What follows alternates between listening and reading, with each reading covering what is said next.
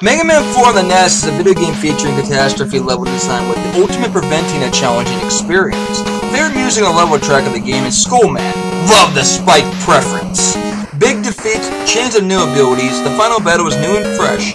After 200 Dr. Willy light years ago, Mega Man still powers up the finest gameplay of great control mechanics. Various survive escapades, a twist and showdowns, and contrived plots. I give the Snowing Bronx a 9.8 slash 10 a fun, playable, and challenging witless game that you could never put down.